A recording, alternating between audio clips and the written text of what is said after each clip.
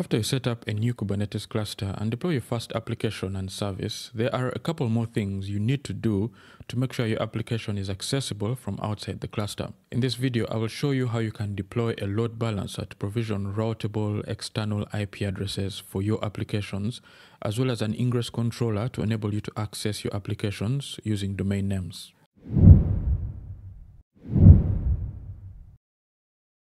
Let us take a brief look at pod networking in a Kubernetes cluster and see how the components we're about to install fall into the picture.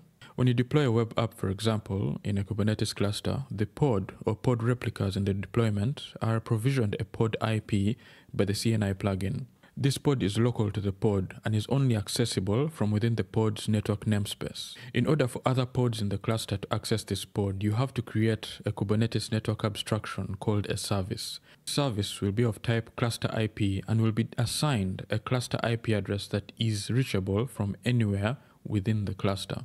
Traffic sent to this cluster IP is forwarded to the pod IP or load balanced across all healthy pod IPs if you have more than one replica in your deployment using destination NAT rules. Using services enables cluster-wide connectivity between pods, but you will not be able to access this cluster IP from outside the cluster using a web browser, for example. Now, there are two main ways you can facilitate external access to a pod, and that is one, by using a service type of node port, and two, a service type of load balancer. When you create a service with type node port, a unique static port is allocated in the root network namespace of each node, and this port is mapped via port translation to the port exposed by the backend pod you likely already have direct network connectivity to your node network. So all you have to do in order to access your application is to connect to the IP address of any node in the cluster using this static port and you will be directed through to the pod. However, you likely do not wish to use your node IPs as endpoints to your applications. If you're running hundreds or thousands of services, you can't keep track of all the ports you open on your nodes. Not to mention that this opens up a huge security hole in your cluster. So a much better way of doing this is to have a separate IP address for every service you wish to expose to your external network. You can do this by creating a service of type load balancer. Each load balancer service instance is assigned a unique externally routable IP address. Load balancer IP addresses are normally a subset of the node's physical network address range. This makes these IPs reachable from within your local network. So you can simply use the external IP address to directly access your application. But there's one caveat to using this service type, and that is you need to have a load balancer installed in your cluster which will be responsible for assigning external IP addresses. A common load balancer used in bare metal Kubernetes clusters is the MetalLB load balancer. Once installed in your cluster, you create an IP address pool, which is a range of IP addresses to be allocated as external IPs to all services of type load balancer. The second MetalLB component is a speaker daemon set, which runs on each node in the cluster. Each speaker agent uses something called gratuitous ARP to configure the node's network interface to respond to ARP requests for the assigned IP addresses. For example, if you have five pods running on a particular node and you have set up a service type of load balancer for each of these pods, each service will be assigned an external IP address from the IP address pool. The MetalLB speaker will then advertise using gratuitous ARP to any machines on the network that each of these five IP addresses is mapped to the MAC address of the node's network interface. So any machine sending traffic to any of these external IPs will send it to the node's network interface and it will be forwarded to the appropriate services within the Kubernetes cluster using NAT. Let us see how this works in practice by deploying the MetalLB load balancer to a Kubernetes cluster. Now, if you go over to the MetalLB installation documentation, it lists several ways in which you can install MetalLB in your cluster.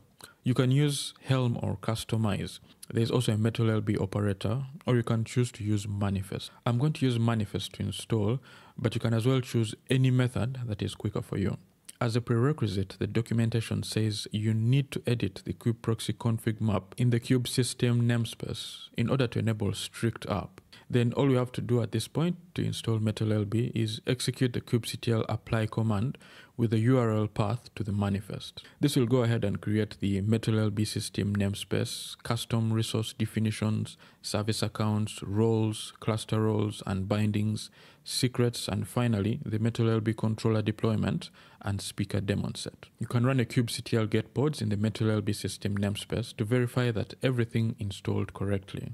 You can also run a kubectl API resources and grep MetalLB to display all the custom resources installed along with MetalLB.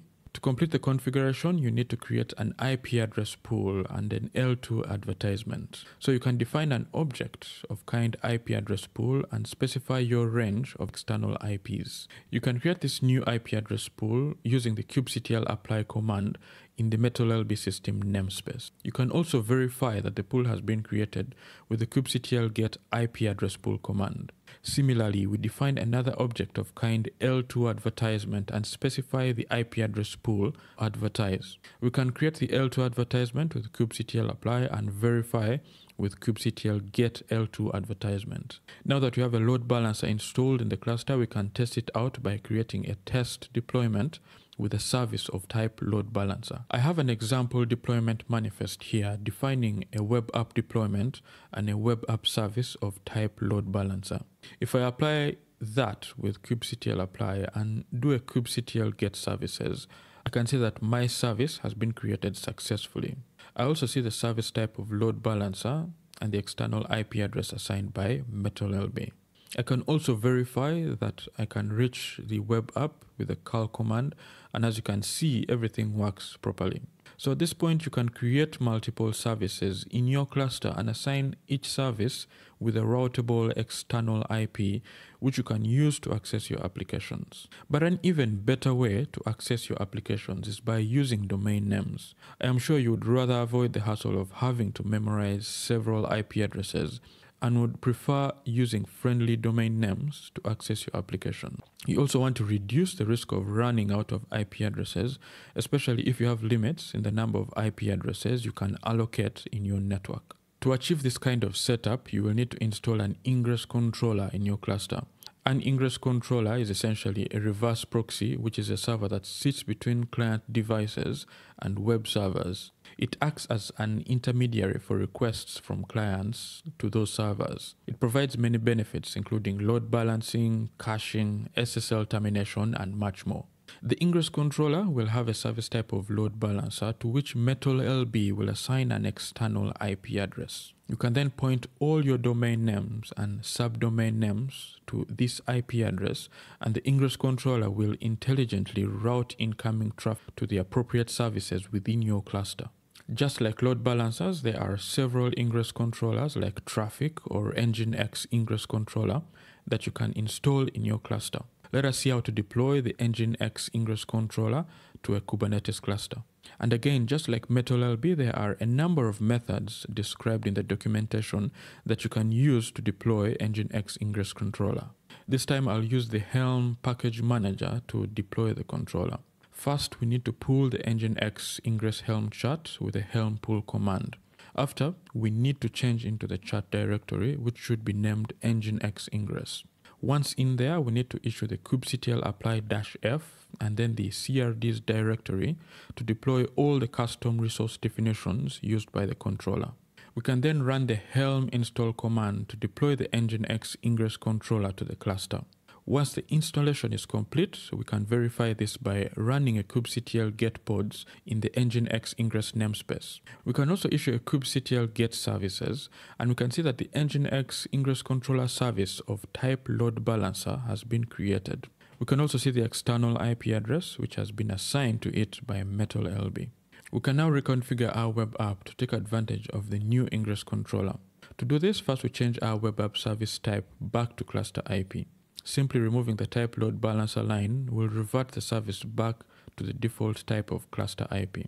We can apply the deployment manifest for this change to take effect. Next, we define a new ingress object. We set the ingress class to nginx, which will enable the nginx ingress controller to pick up and configure this new ingress. We also set the domain name under host and set the backend service and port number to match the web app service. We can apply the ingress manifest to create the new ingress. A kubectl get ingress shows the newly created ingress object. We can now map the domain name of the web app to the external IP address of the Nginx ingress controller in our local hosts file. You can achieve the same effect by creating an A record in your DNS server as well.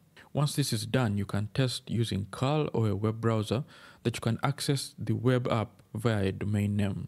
And as you can see, the web app is now externally accessible via its domain name. So hopefully now you have all the tools you need to set up a load balancer and ingress controller in your cluster, as well as create access to your cluster applications using external IPs and domain names. Once again, thanks a lot for watching. And if you found any value in this video, leave a like and please consider subscribing for more Kubernetes tutorials.